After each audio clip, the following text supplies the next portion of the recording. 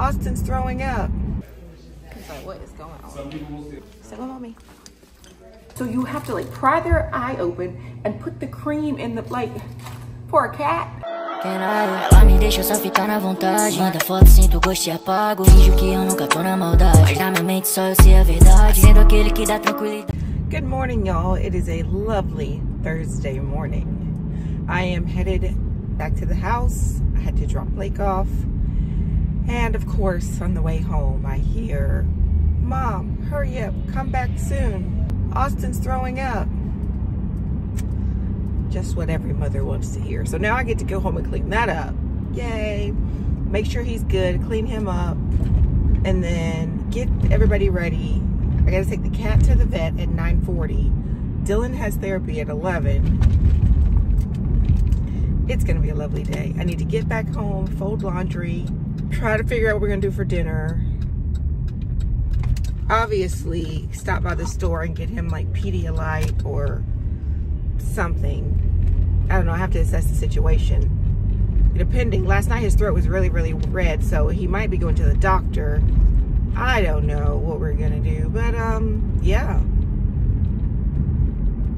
Happy Thursday.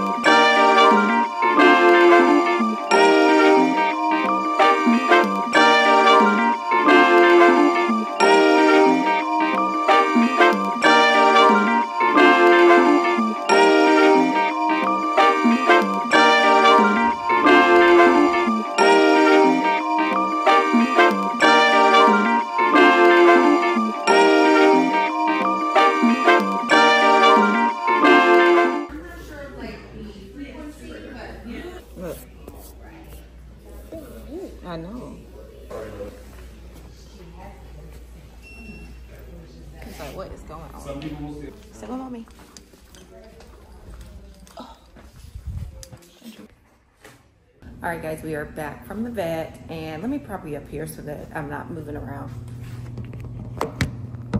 I found if I prop you up here, it's still good lighting. So we are back from the vet. so when I thought, what we initially thought were allergies because he just had that liquidy water. Actually, as a matter of fact, I'm sure I can show you what his eye does because I'm always cleaning up these little bitty brown droplets. I bet there's somebody's food. Let me show you. TMI, if you don't want to see it, it's nothing gross. It's just, uh, let's see. So like here, I, I wipe this thing at least three or four times a day.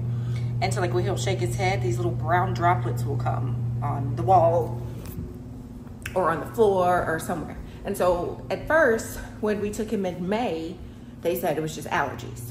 They gave him some medicine, something with a T, I can't remember. You put it in their eye and it got better. Everything went great, which is crazy because they gave us a similar medicine this time. This one is azithromycin, I think. But it's so weird because, let me show you. It's not drops, it's like cream. So you have to like pry their eye open and put the cream in the, like, for a cat. Luckily my cat doesn't scratch or anything, but anyways, that's what we have to do two times a day. So they gave him some more medicine. Um, I wish it would have been drops, but this is what we're gonna do. Because the reason I wish it would be drops is because I feel like when I put this in, once he blinks, the cream stuff like kind of comes out. He it like flushes out. So I just feel like it just never stays in there.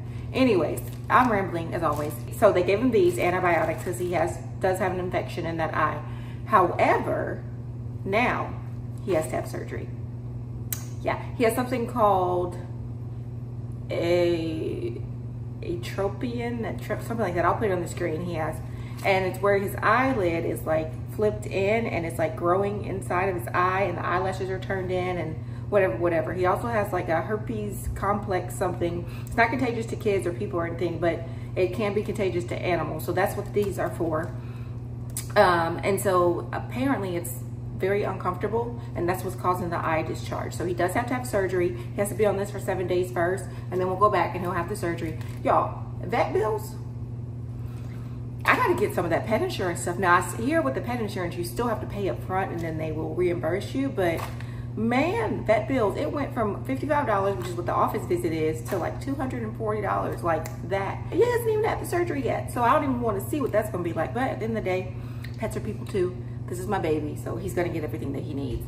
Um, so after he has the surgery, it's like, I think she's like maybe a five day downtime. They'll put him on stuff to keep him calm. She also recommended getting those Feliway, you know, the little adapter things I keep in the wall to keep him calm. We don't have like a stressful house, so like he's not stressed here. The kids are, he's he's chill.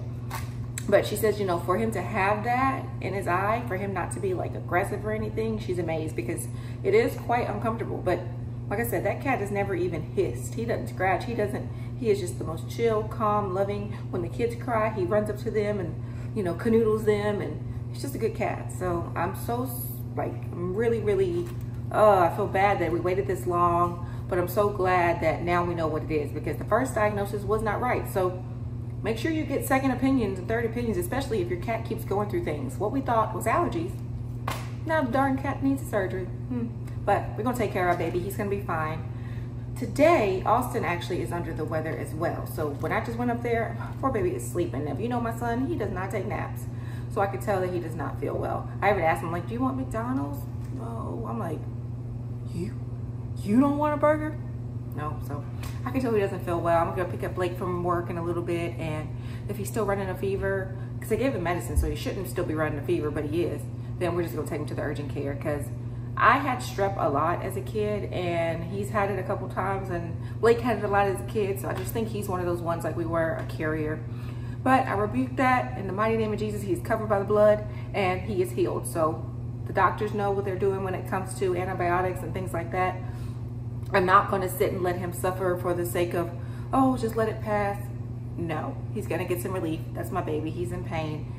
So I'm going to let him sleep it off for right now. When I pick up his dad, then they'll go to the urgent care. We're just gonna chill. We took a day off today from homeschool, which is great, which is another reason why I love it because we're not tied down to this eight hour schedule where I gotta get them up at six and no matter what, you gotta go to school and blah, blah, blah.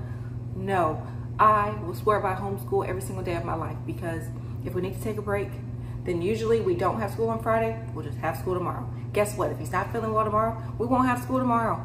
We'll wait and we'll just double up on Monday. Either way, it gets done because we homeschool year round. It's not like they're just going for eight or nine months. They go year round. They'll be done by the time they're 16. They're all ahead in different areas. They're all below in different areas. It just depends. Like Austin, his he's really te technically in third grade, but his math is like fifth grade.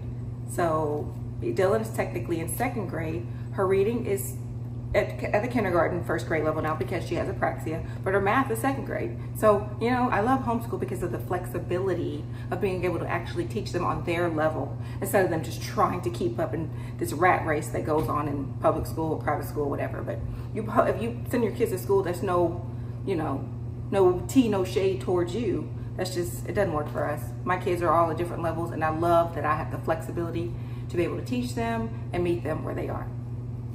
So with that being said, mama needs some lunch, so let's eat. Ela me deixa só ficar na vontade. Manda foto, sinto gosto e apago. Finjo que eu nunca tô na maldade. Mas na minha mente só eu sei a verdade. Sendo aquele que dá tranquilidade